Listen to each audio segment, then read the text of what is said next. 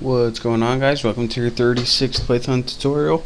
And in this tutorial I'm going to show you guys how to make a subclass with multiple multiple parent classes. So if we want to make a subclass with multiple WTF is this? Get out of the way, Haas. If we want to make a subclass with multiple parent classes, we first need multiple parent classes. So let's go ahead and make a class called mom. She can be a parent. And let's go ahead and make a couple variables in her. var1 um equals hey I'm mom. And that's good enough for you mom. Next let's go ahead and make a class called dad and make variable 2 make sure this is a different variable that was inside class mom. In variable 2 we'll put hey there son I'm dad hey dad same thing doesn't matter. I'm a dad. Now let's go ahead and make a class called child. Getting ahead of myself here. Class child. And now, if you want to inherit multiple traits from different classes, all you have to do is type in the class names right there. Mom, Dad, and as your um, argument, or not your argument, whatever this is called in here, all you have to do is press pass. And what pass means is do nothing, because we don't want it to do anything. We can actually have another variable, and we want var3, and have it equal to, um, I'm a new variable, and I know I typed everything wrong in this entire uh, tutorial but just bear with me here. And once you have this your child class now inherited all the variables from mom and dad. So let's go ahead and make a child object.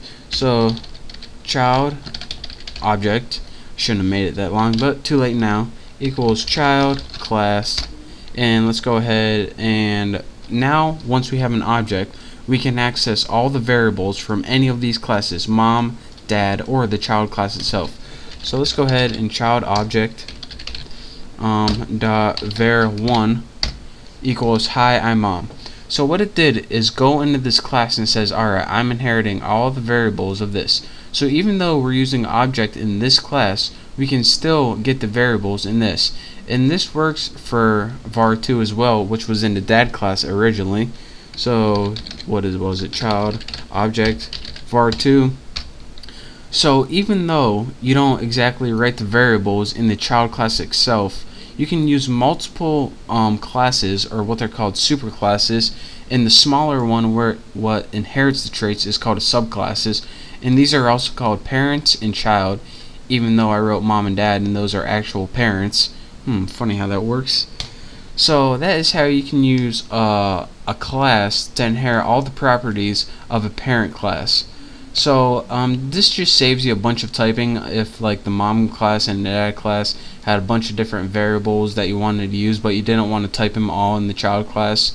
And uh, like usual, usual you can also um, use the variables that are in the child class itself. So again, that is how you can use um, the different items in either classes just by adding the name of the class in your parameter.